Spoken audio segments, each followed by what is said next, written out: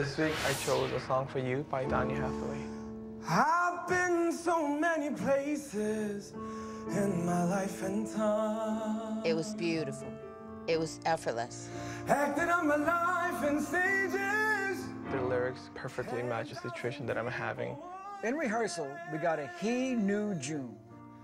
He came in with a spanking new attitude. He's a sensitive guy. You know, a lot of times people put up a front. That's what I think he was doing. When you make yourself vulnerable like this, you let people just watch you sing like that, it's real, man. You're letting them into your world. You're bringing them into your world because it's effortless. In his heart, I, I think he doesn't want to be hurt if he doesn't win. Yeah. Which is, we all feel that way sometimes. It's like, so I'm going to act like I don't care.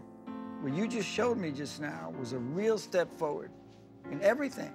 Attitude, tone, understanding the song, you know? It's only one thing. Precious Secrets, Oh yeah, add the S. right. Okay? okay. okay.